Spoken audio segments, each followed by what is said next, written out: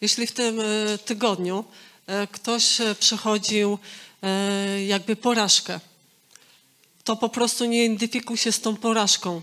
W ogóle to diabeł przyszedł do tego miejsca i masz plunąć, po prostu wypluj to i nazwij po, jak, jak szmata, wypluj to. To, co miało miejsce, nie ma już znaczenia. Jesteś nowym stworzeniem, stare przeminęło.